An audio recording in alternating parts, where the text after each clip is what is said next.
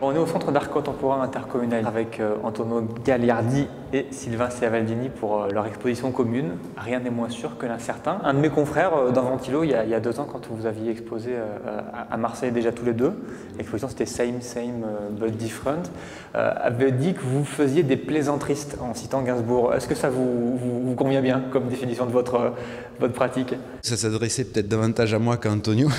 On fait attention avec Antonio d'avoir quelque chose d'assez léger d'assez facile d'abord, euh, qui puisse s'adresser à tous. Il y a quand même des tiroirs, lorsqu'on les ouvre, qui sont un petit peu plus pessimistes. Quoi. Ça génère une forme de réflexion plus complexe, pas aussi joyeuse que ce qu'on pense. Euh, moi, dans ma pratique, il y a aussi une, ironie qui est assez forte, mais plutôt tirée vers le bas. Hein. On va en arriver à cette exposition-là, rien n'est moins sûr que l'incertain. Qu'est-ce qui a présidé Quelle est l'idée qui a présidé à cette exposition en fait? Qu'est-ce qui vous a donné l'envie de vous lancer là-dedans? Il y a une dizaine d'années, j'ai commencé à travailler sur, euh, sur le statut de l'artiste en fait, et de, de ce qu'est un artiste, de, sa place dans la société. Ça a évolué petit à petit sur la production de l'artiste. Et puis là, aujourd'hui, euh, le questionnement sur, euh, sur qu'est-ce qui fait que, que l'artiste génère des formes et d'où elles viennent et qu'est-ce que ça devient. La première pièce de cette exposition, c'était un miroir. Euh, dans lequel le visiteur peut se regarder, en tout cas se, voit de manière un petit peu décadrée. C'est une proposition, c'est une invitation au public à participer au dispositif de l'exposition euh, oui, oui, inévitablement, puisqu'on est face à un miroir et qui nous renvoie à la fois le reflet de l'exposition et à la fois le reflet de soi-même. Et puis, euh, ce que vous n'avez pas dit, c'est que sur ces miroirs, il y a un texte en fait qui est, euh, qui est dépoli sur la face arrière hein, et où on voit apparaître le titre de l'exposition. Rien n'est moins sûr de, que l'incertain.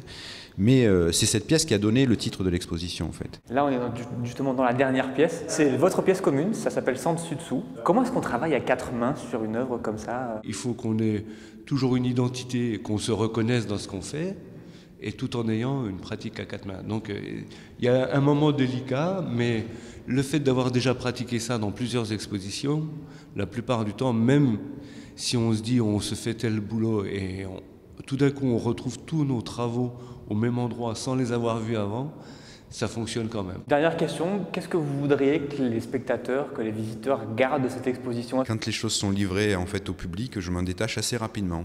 Par contre, j'aime bien avoir des discussions, avoir des retours, mais euh, de, leur vie future, euh, c'est quelque chose qui m'importe peu. Je me garde de faire des pièces très très fermées, euh, intellectuelles, etc., parce que je veux qu'il y ait plusieurs entrées, et n'importe qui qui voit les pièces doit pouvoir en prendre quelque chose.